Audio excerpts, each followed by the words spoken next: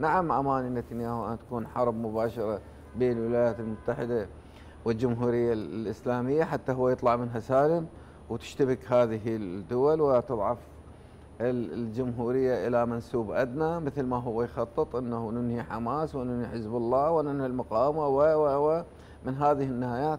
شعارات كذب يسوقها على الداخل الإسرائيلي والآن انفضح. اليوم أنا أعتقد أنه مع كل هذه العمليات. يعني إحنا إذا نقدم إحصائيات قبل استشهاد السيد رحمة الله عليه كان تطلق في اليوم الواحد مثلا آه، تنفذ 10 12 11 الآن تضاعفت. الآن أكثر من 27 28 30 عملية.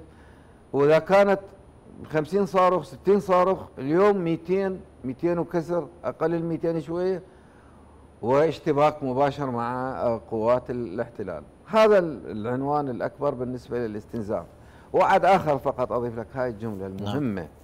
بعد مجيء السنوار إلى بالنسبة إلى حماس والتهديد بالمرحلة أو الموجة الجديدة من الاستشهاديين والتي بانت في هذه اليومين الماضيين.